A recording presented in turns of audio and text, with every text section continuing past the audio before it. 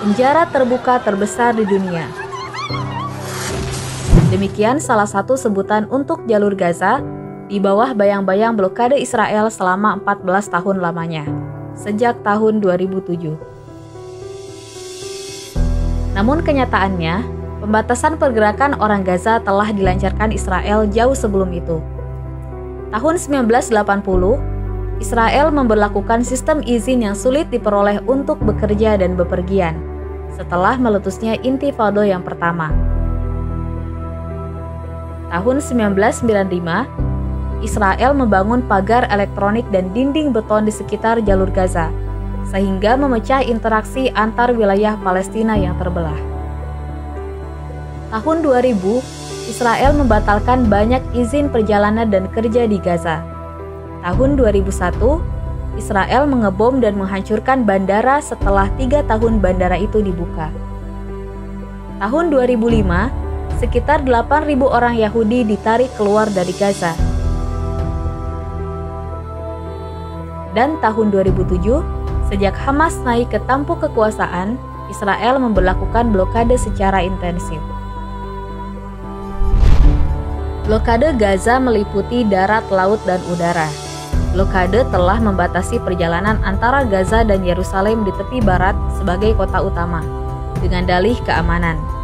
Sehingga warga Gaza sulit untuk mengakses layanan vital seperti rumah sakit khusus, konsulat asing, bank, universitas, dan sebagainya.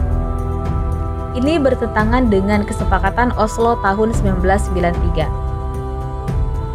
Blokade juga membuat banyak keluarga Palestina terpecah. Kesempatan belajar dan bekerja ditutup, dan fasilitas kesehatan pun tak didapatkan. Ini bertentangan dengan pasal 33 Konvensi Jenewa keempat. Nelayan Gaza juga hanya diizinkan belayar menangkap ikan sampai 5,6 km lepas pantai. Padahal harusnya bisa berlayar hingga 37 km lepas pantai. Maka aturan ini bertentangan dengan perjanjian Gaza Jericho tahun 1994. Dari sini telah tampak jelas bahwa Israel berkali-kali mengkhianati perjanjian demi perjanjian yang disepakatinya.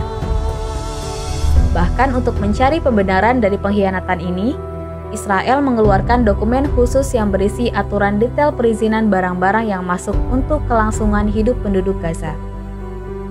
Sehingga mereka bisa mengatur pengepungan dan melukai warga Gaza tanpa membiarkan situasi di sana mencapai krisis kemanusiaan.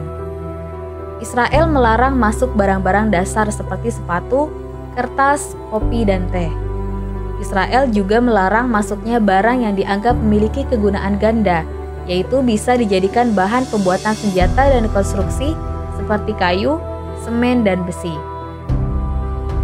Menggunakan rumus matematika, dengan menghitung tingkat konsumsi harian dikalikan populasi di Gaza, Israel bisa mengklaim bahwa blokade ini tidak termasuk ke dalam collective punishment yang bertentangan dengan Konvensi Jenewa keempat. Fakta di lapangan, blokade yang dilancarkan Israel jauh telah menghancurkan perekonomian dan kehidupan warga Gaza. 56% warga Gaza menderita kemiskinan. 63% kaum muda mengalami pengangguran.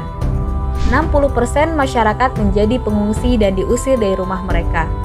95% air di Gaza tidak aman untuk diminum. Dan sebagian besar masyarakat hanya bisa mengakses listrik dengan terbatas. Sampai kapan penjara terbuka terbesar di dunia ini terus berlangsung? Padahal semakin ke sini, blokade ini terus memperburuk keadaan dan bisa saja menimbulkan bencana kemanusiaan yang besar suatu hari nanti.